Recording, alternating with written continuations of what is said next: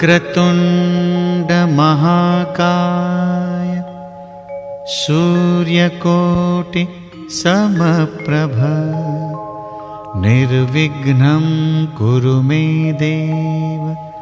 सर्वकार्येषु सर्वदा।